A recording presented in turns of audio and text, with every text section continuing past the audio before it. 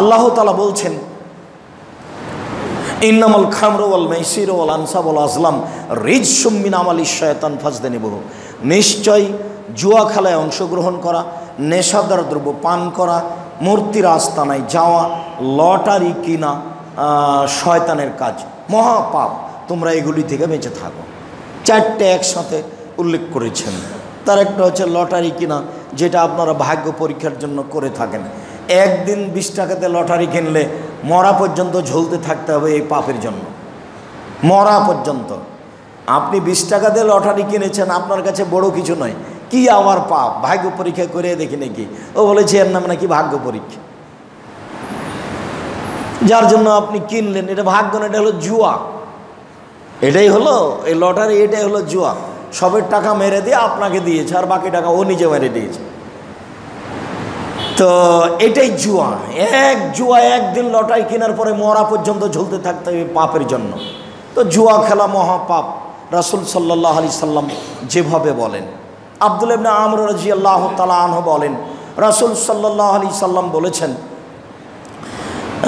লায়ত খুলল জান্নাতা আক কোন বাপ মাকে মানে না যে সে জান্নাতে যাবে না। ওলা কাম্মার। জুয়া খেলে যে সে জান্নাতে যাবে না। ওলা মান্নান খোটা দেয় যে সে জান্নাতে যাবে না। অলা মধুবন খামর নিয়মিত বিড়ি, তামাক, জর্দা, সিগারেট গুল নেশাদার দ্রব্য খায়, পান করে যে সে জান্নাতে যাবে না। অত্র হাদিসের একটা বাক্য হলো, জুয়া খেলে যে। প্রত্যেক যেই খেলাতে টাকার হার জিত রয়েছে, সেটাই হচ্ছে জুয়া। বোখারি মুসলিমের একটা হাদিস একাধিকবার এসেছে, মান কাল আলে আহাদিন, কেউ যদি কাউকে বলে যে, আসো, তাল উকামের কা আসেন আপনার সাথে জুয়া খেলব। ফালিয়াতা সাদ্দাক, তাহলে সে যেন দান করে মানে জরিমানা দেয়। কি জরিমানা? কসমের জরিমানা।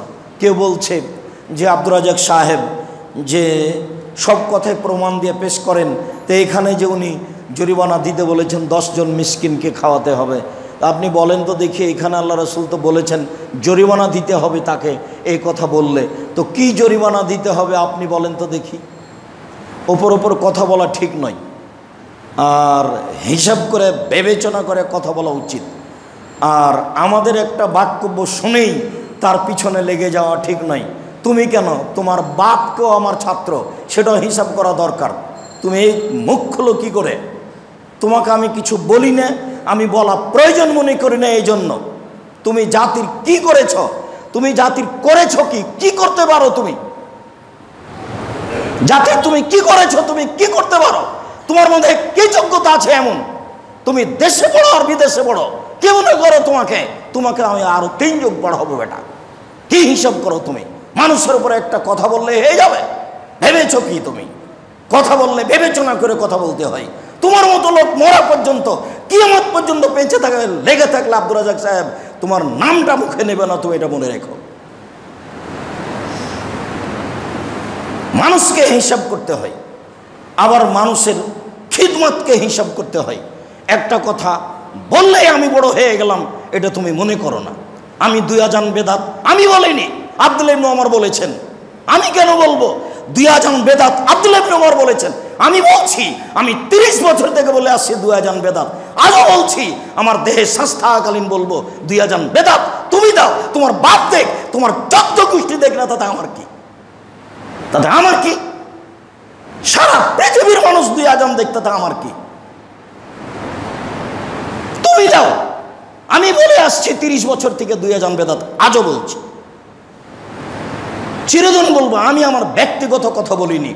আবদুল্লা ইবনে ওমার বলেছেন, এই কথা আমি বলছি। আমি কোনোদিন কোনো মানুষকে, কোনো জাতিকে, কোনো দল, নেতাকে হিসাব করে আমার জীবনে কোনোদিন কথা বলিনি। ভবিষ্যতে আমাকে বলতে হবে হিসাব আমি করি না। তো আমি তোমাকে বলছি তুমি একটা ছেলে মানুষ, কথা বললে হিসাব করে বলিও, তোমার বাপও আমার ছাত্র। জাতির কিছু করেছ, মানুষের পিছনে লাগাটাই বড় মনে করো। জাতির কি করো? জাতির কি করেছ?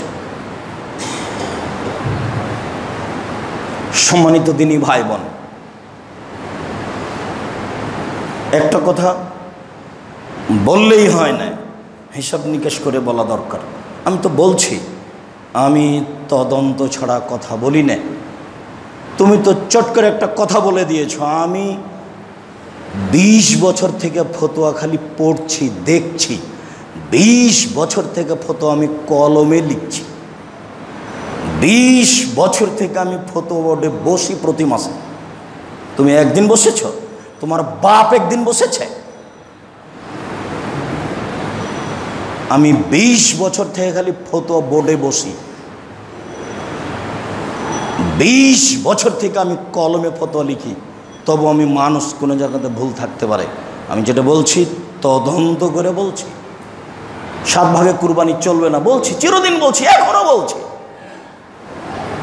দেহের সংস্থাকালীন বলব, তুমি সাত ভাগে কুরবানি সারা দুনিয়ার মানুষ করুক, তাতে কি আছে?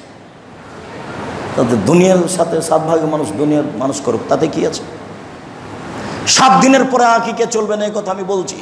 আমার দেহে স্বাস্থ্যকালীন বলব, সারা পৃথিবীর মানুষ চোদ্দ দিনে বলুক, একুশ দিনে বলুক, জীবনে একদিন বলুক, তাতে আসে যায় না। আমি আব্দুর রাজাক বিন ইসুফ বলেছি, সাত দিনের আগে আঁকিকা হবে না, পরে আঁকিকা হবে না। এ কথাই চূড়ান্ত। জাতি মানলে কি আর না মানলে? কথা ফিরিয়ে নিতে হবে, এটা তুমি মনে করো না। তোমার মতো একটা সাধারণ ছেলে পিছে পড়লে আমাকে তোমার পিছে পড়তে হবে, এটা তুমি স্বপ্ন ভাবিও না। সম্মানিত দিনী ভাই বোন বলছিলাম, রাসুল সাল্লাহ সাল্লাম বলছেন কে, যদি কাউকে বলে আসে জুয়া খেলি, তাহলে সে জন্য জরিমানা দেয়, কি দিবে বলেন দেখি।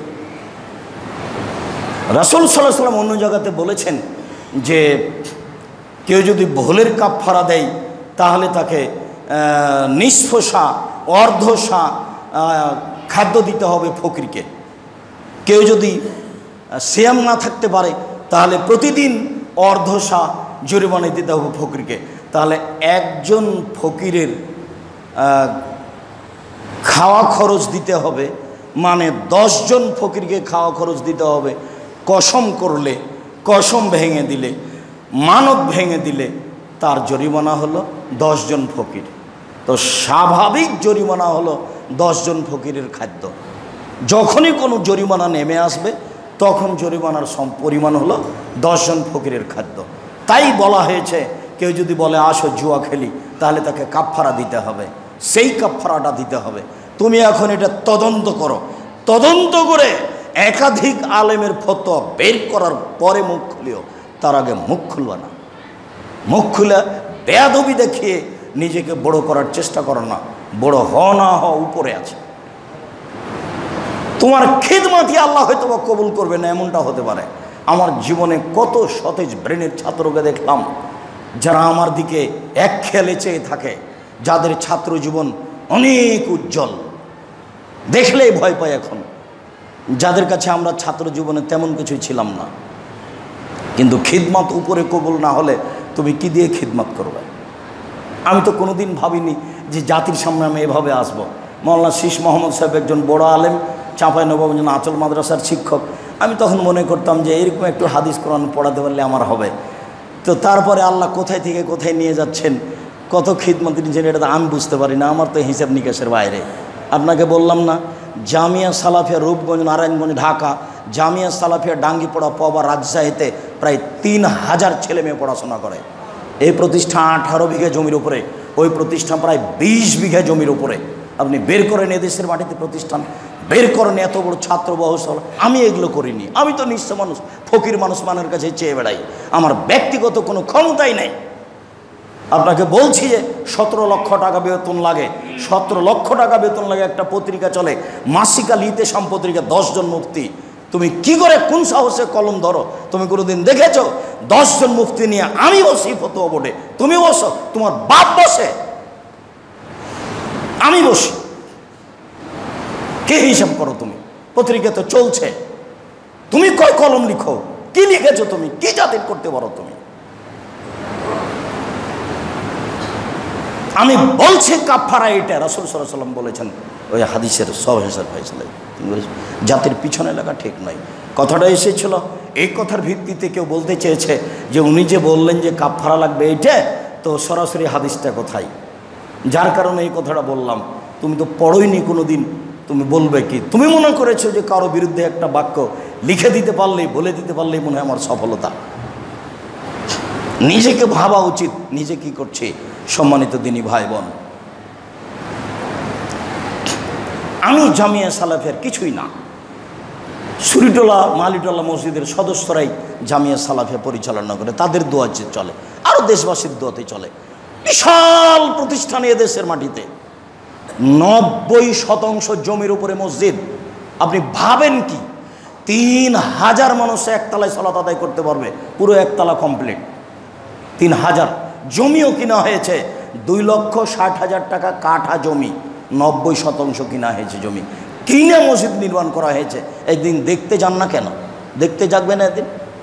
না হলে আমাকেই বলিয়েন যাতায়াতের টিকিট করে দেবো। নাহলে ব্যক্তিগত টাকা খরচ নিয়ে দেখতে যাবেন না কেন? দেখতে যাবেন। আমি একজন ভিক্ষুক মানুষ। মানুষের দরজায় ঘুরে ঘুরে এসব কাজ করি আর আপনি একদিন দেখতে যেতে পারেন দেখতেই যাবেন, এটা আমার দাবি। আপনি আমার দিনী ভাই বোন হিসাবে সম্মানিত দিনী ভাই বোন বলছিলাম, আবু মুসা আশারি রাজি আল্লাহ তালাহ বলেন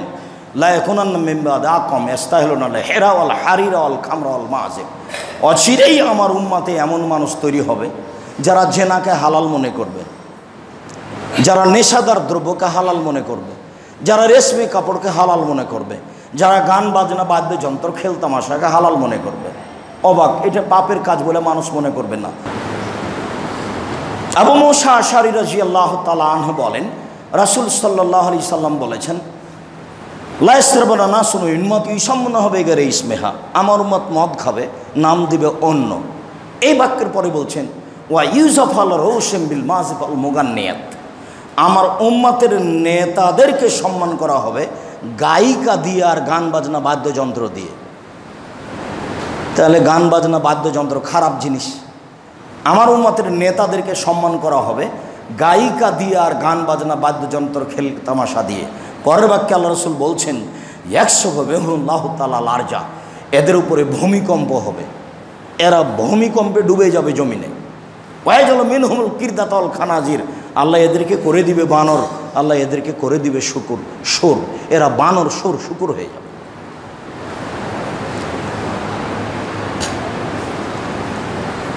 আনাস রাজি আল্লাহ তালা আনহ বলেন, রসুল সাল্লাম বলেছেন লায়াকুনান্না ফি হাজিল উম্মা খাসফোন মাসফোন কাজফোন আমার উম্মাতের উপরে তিনটা বিপদ নেমে আসবে। এক সর্ব ধরনের সমস্যা। দুই, আকার আকৃতি পরিবর্তন। তিন, ভূমিকম্প। কেন? এ যা জারাবুবিল মা আসেফ যখন তারা গান বাজনা খেলতামাশা বাদ্যযন্ত্রের মত্ত হবে। জাহারাতিল কায়নাত, যখন মেয়েরা নাচবে আর যখন অসারাবুবিল খমর, আর যখন তারা নেশাদার দ্রব্য পান করবে। যখন নেশাদার দ্রব্য পান করবে খেলতামাশায় মত্ত হবে গান বাজনা বাদ্যযন্ত্রে, মেয়েরা নাচবে। দেখেন, সব দোকানে মেয়ে নাচে, সব মোবাইলে মেয়ে নাচে, সব বাড়িতে মেয়ে নাচে। কোনো ব্যাপারই নয়। আমার উম্মতের ওপরে এই তিনটে তখন বিপদ নেমে আসবে। রসুল সাল্লাহ আলি সাল্লাম বলেন যে লাইবাইয়ে তানা নাম নাসল মিন্ন আমার উম্মাত রাত অতিবাহিত করবে। আল্লাহ তোয়ামিন অ সারাবিন লাহাবিন খাদ্য নিয়ে, মদ নিয়ে, গান বাজনা, বাদ্যযন্ত্র খেলতামাশা নিয়ে। খাদ্য নিয়ে, মদ নিয়ে, গায়িকা, গান বাজনা খেলতামাশা বাদ্যযন্ত্র নিয়ে। এই কথা বলার পরে রসুল সাল্লাম বলছেন ফায়াস বাহু তারপরে তারা হয়ে যাবে। ফায়ে কোনো কীর্তানা খানাজিরা তারা সকাল করলে সকালে তারা হয়ে যাবে সোর তারা হয়ে যাবে বানর। তারা সকালে হয়ে যাবে শুকুর, তারা হয়ে যাবে বানর। শুকুর সোর হবে কেন? বিবেচনাহীন যোগ প্রাণী পৃথিবীতে একটাই, সেটা হলো সোর, শুকুর। কোনো বিবেচনা করে চলে না। গরু বিবেচনা করে চলে। এখানে গরুর গোবর গোঘাসি থাক, আপনি গরুটাকে ওখান থেকে নিয়ে যেতে পারবেন না, টেনে নিয়ে যেতে পারবেন না। তার মানে তার একটা বিবেচনা আছে। বিবেচনায় আটকা পড়েছে, সেইখান দিয়ে যাবে না। কিন্তু সোর, শুকুর যেখান দিয়ে নিয়ে যাবেন, যেভাবে নিয়ে যাবেন। যেই খাদ্য দেবেন সবই খায় বিবেচনাহীন প্রাণী হলো সোর মানুষ যেদিন বেবেনো ছাড়া দুনিয়া ভোগ করবে, সেদিন মানুষ হয়ে যাবে সোর হয়ে যাবে শুকর। আর অনুকরণীয় প্রাণী হচ্ছে বানর। পৃথিবীতে একটাই প্রাণী মানুষের অনুকরণ করতে পারে। অনুকরণীয় প্রাণী হচ্ছে বানর। যেদিন মুসলমান ইহুদি খ্রিস্টানের অনুকরণ করবে কলেজ তাদের মতো, বিশ্ববিদ্যালয় তাদের মতো, শিক্ষা প্রতিষ্ঠান তাদের মতো, স্কুল কলেজ তাদের মতো, অফিস আদালত তাদের মতো, উঠা বসা তাদের মতো, খাওয়া পড়া চাল তাদের মতো, চুল ছাঁটা তাদের বোকা ছেলেটা কোন খেলোয়াড় চুল ছোট করেছে, ছাতা করেছে, সেও চুল করে রেখেছে। এই এই! কপি করার হিসাব পাও না তুমি? এটা নাম কাজা অর্ধেক চুল ছোট করেছে, অর্ধেক রেখেছো কেন? বেয়াদবি করার জায়গা পাও না? তোমার বাপ মা তোমাকে কি শেখায়? তুমি বাপ মা ছাড়াই দুনিয়াতে থাকো নাকি? তোমার বাপ মা তোমাকে কিছু বলতে পারে না? কিছু অংশ চুল কেটেছ কিছু অংশ রেখে দিয়ে এই চুলটা কাজা বলা হয়, একে হারাম। এই নীতি কেন? এটা তো বহিরাগত নীতি। ওদের নীতি কেন তোমার কাছে?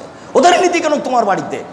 ওদের নীতি কেন তোমার কাছে? মানুষ আমাকে মাঝে মধ্যে বলে, ইংলিশ মিডিয়াম প্রতিষ্ঠান চালাতে হবে। বাট বেটা, ইংলিশ মিডিয়াম প্রতিষ্ঠান চালাতে হবে।